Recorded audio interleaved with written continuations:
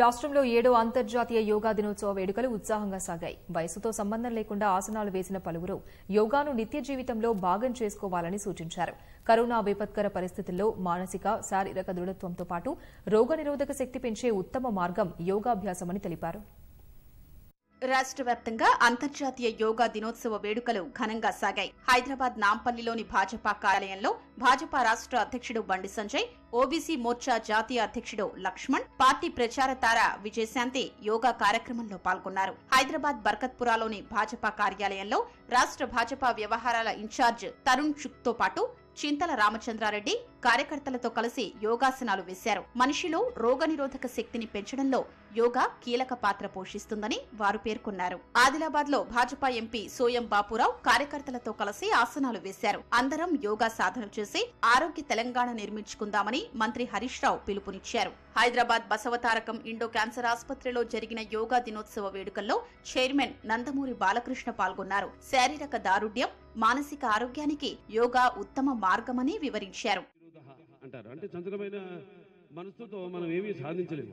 యోగా ద్వారా అనుకున్నవి దాన్ని ఒక దారిన క్రమమైన దారిలో పెట్టి మనం అనుకున్నవి సాధించడమే యోగం. అంటే యోగా అని అర్థం.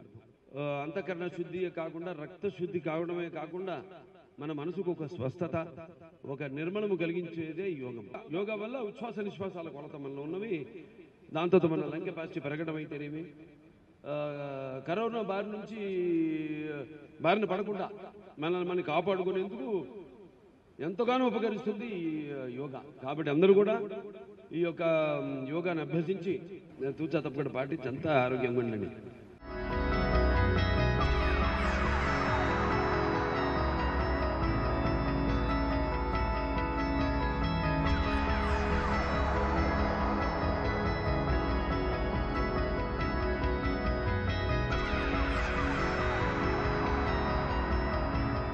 వరంగల్ పట్టణ జిల్లాలో అంతర్జాతీయ యోగా దినోత్సవ వేడుకలు ఘనంగా సాగాయి. పురావస్తు శాఖ ఆధ్వర్యంలో ఖిలా వరంగల్ కోట శిల్పాల ప్రాంగణంలో సూర్య నమస్కారం ప్రాణాయామం సహా వివిధ ఆసనాలు వేస్తూ చూపరుల్ని ఆకట్టుకున్నారు. అనంతరం డోలు కళాకారులు ప్రదర్శించిన ప్రదర్శన అందరినీ అమితంగా ఆకట్టుకుంది. హన్మకొండలో హరిత యోగ శిబిరం ఆధ్వర్యంలో జరిగిన వేడుకల్లో సాధకులు పలు ఆసనాలు చేశారు. కోవిడ్ నిబంధనలు పాటిస్తూ ఖమ్మం జిల్లా వ్యాప్తంగా పలు యోగా సంస్థల ఆధ్వర్యంలో వేడుకలు నిర్వహించారు. ములుగు జిల్లా వెంకటాపూర్ మండలం పాలంపేట గ్రామంలోని కాకతీయుల కాలం నాటి రామప్ప ఆలయ వద్ద యోగా సాధన చేశారు.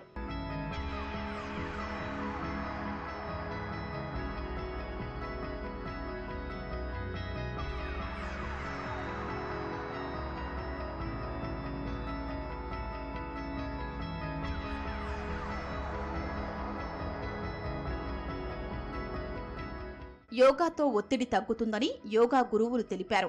ఉమ్మడి కరీంనగర్ నల్గొండ జిల్లాల్లోనూ అనేక మంది యోగా దినోత్సవాల్లో భాగమయ్యారు. భారత ఆహార సంస్థ దక్షిణ మధ్య రైల్వే సింగరేణి వంటి సంస్థలు యోగా వేడుకలు నిర్వహించాయి. మానసిక దృఢత్వం ఆలోచనల్లో సమతుల్యత వ్యక్తిత్వ వికాసం యోగాతో సాధ్యమవుతాయన్న గురువులు ప్రతి ఒక్కరూ యోగాను జీవితంలో భాగం చేసుకోవాలని పిలుపునిచ్చారు.